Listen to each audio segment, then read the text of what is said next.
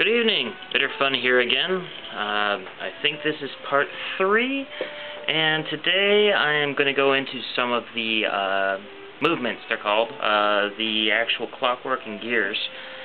And, uh, well, okay, Let's see what we got here.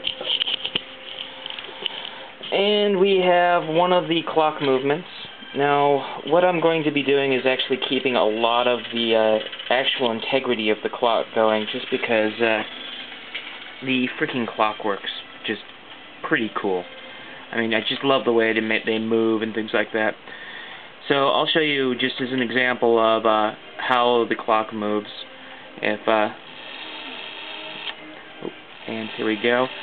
So as you can see, several different things: flipping, spinning, just general awesomeness. But you hit a little divot there, and it uh, stops. So just to keep it cool in the clock, what I'm doing is I'm actually first taking some solder and making little beads out of it.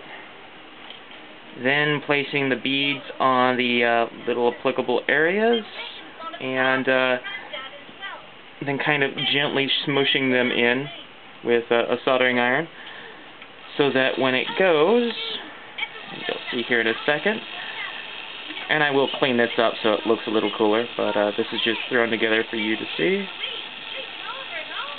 And it skips right over those parts that would normally be the chimes for the hour, half hour, quarter hour, and whatnot.